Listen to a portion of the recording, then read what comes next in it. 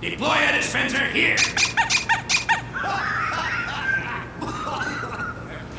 Are you all trying for a Section 8?